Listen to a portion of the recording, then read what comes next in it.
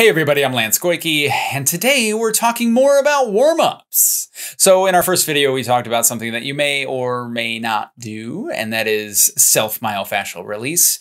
Laying on a foam roller, and grabbing a Theragun, or you know, pinning a lacrosse ball, or uh, what's a field hockey ball in between your pec and your uh, wall nearby, or maybe the ground and your butt because you got some glute muscles that feel tight. That's step one, but you might not even use it. Step two is, hey, maybe you just need to move around a little bit. Maybe you need to roll on the ground. Maybe you need to walk around.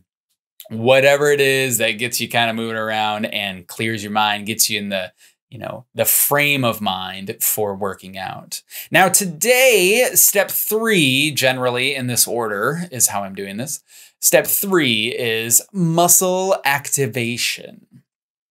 So, uh, you know, we kind of got away from calling it muscle activation because it seems like it's probably just me repositioning a muscle and then it's allowed to turn on a little bit better physiologically. Um, and so muscle activation seems a little unclear um, or a little, uh, not necessarily unclear, but less specific, less accurate. I think talking about activating a muscle is a very good way of thinking about it. It makes a lot of sense to a lot of people. So, some people, especially people who sit down all day at work and then they sit down and they drive into the gym and then they, you know, I don't know, hopefully don't sit down too much when they're at the gym, but uh, they've been sitting a lot. And when I sit there and I put pressure on a muscle, it falls asleep. And I think that's a really good way to think about it. Um, let's, I don't have a coin. Here's my pen. Let's do this. So we did this experiment in my physiology class. We took this coin or this pen and we just put it on our arm and it stayed there. It stayed there. Yep. So we put it on our arm and we just held it there for a long time, for, you know, over a minute. And what you did was the tester checked in with you at like 15 seconds, at 30 seconds, at 60 seconds, at two minutes, at five minutes, whatever. And you were supposed to, sorry, I, I hit my mic down there. You were supposed to say, yes, I feel the pen still, or no, I do not feel the pen still. Let's, let's keep it right up there in there.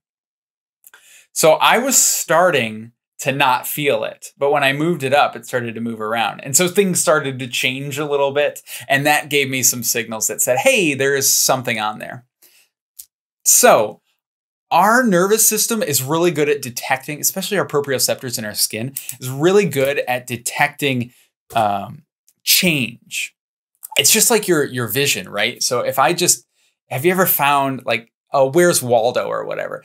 Where's Waldo works as a puzzle because it's all just right there. Nothing's moving, nothing's drawing your attention. You're not looking for any one particular thing.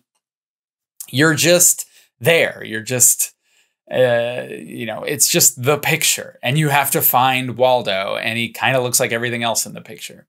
Um, the uh, what our brains are good at doing is noticing the change noticing something really, really different. So if Waldo was dressed in all black in those pictures, we'd be able to find him probably pretty easily because all those other dudes in the red and white stripes are, you know, totally different than what Waldo looks like. So we notice differences, we notice changes. And so when I put a, a coin or a pen on my arm, I feel the pressure change on my skin. And so I'm very aware that it's there.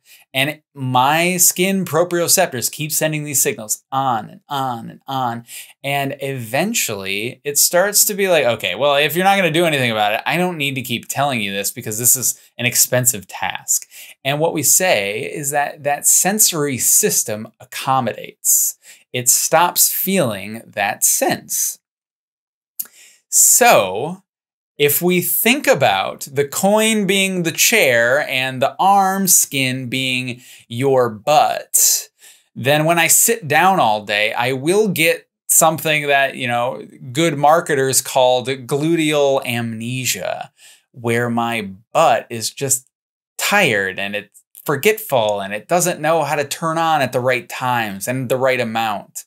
And so I can benefit from some gluteal activation.